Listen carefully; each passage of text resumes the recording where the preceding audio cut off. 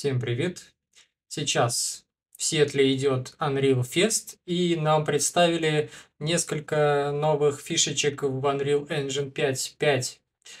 В общем, все очень интересно, но одно из самых значительных изменений и нововведений – это Megalights.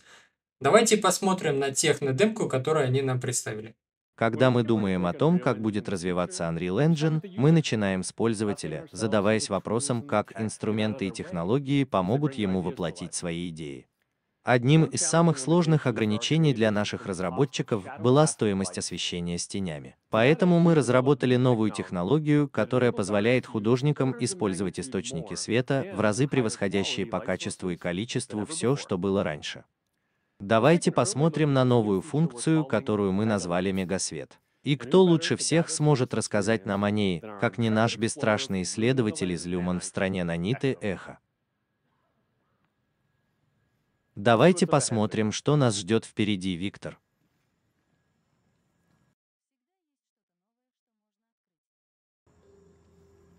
Прежде чем мы перейдем к деталям мегасвета, я хотел бы рассказать об этой локации. Она создана с использованием набора совершенно новых ресурсов из библиотеки Quixel Megascans, а также в сотрудничестве с Kitbash 3D. Это отличный ресурс для трехмерных моделей и материалов. Скоро многие из этих ресурсов появятся на нашем новом маркетплейсе FPSet, если вы захотите использовать их в своих проектах. А теперь давайте поговорим о мегасвете.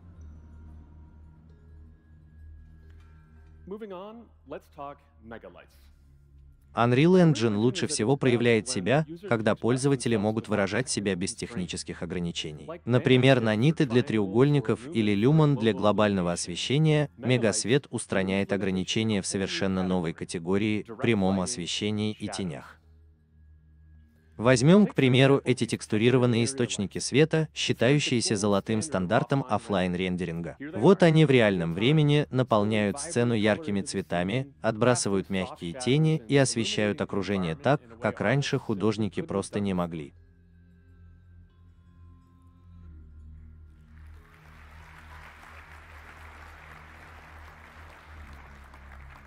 И теперь у создателей есть новый мощный инструмент, но это не единственное, что делает Megalix лучше.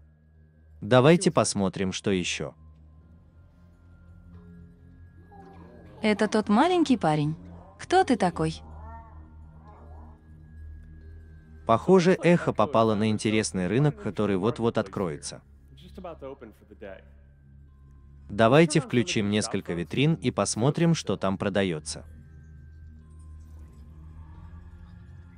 Но чего-то не хватает. Сцена выглядит плоской и невыразительной. Давайте включим тени, но не только для нескольких важных источников света, а для каждого источника света в кадре.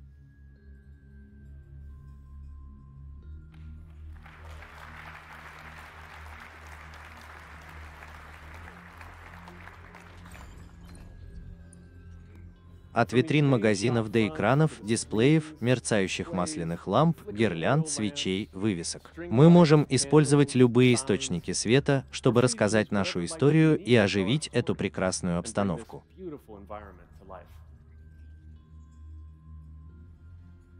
Плотность источников света здесь очень высокая. Вот что получается, когда художники работают без ограничений. Хорошо, давайте вернемся к сцене. Виктор, давайте активируем все эти анимированные дроны и роботов над одним источником света, который отбрасывает тень в кадре.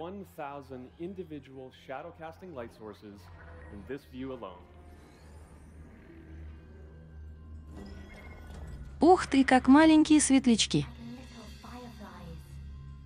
Все эти источники света подвижны, динамичны, рассеиваются в объемном тумане, и Магаликт справляется с этой впечатляющей сценой без проблем.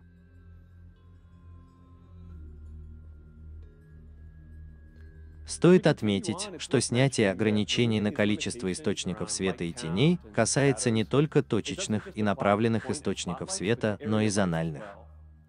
Магаликтс позволяет художникам использовать зональные источники света так же свободно, как и любые другие. Теперь используете ли вы текстурированные зональные источники света, функции освещения, четкие тени или мягкие тени. Вы можете использовать огромное количество источников света любого типа в любой конфигурации, которая лучше всего подходит для вашей сцены. Сейчас, когда мы отправляемся в наше следующее приключение, мы должны упомянуть о производительности. То, что вы видели, работает на PlayStation 5. Megahites входит в состав 55 версии. Это экспериментальная функция, и вы можете посмотреть на нее поближе на выставке, если хотите. Большое вам спасибо.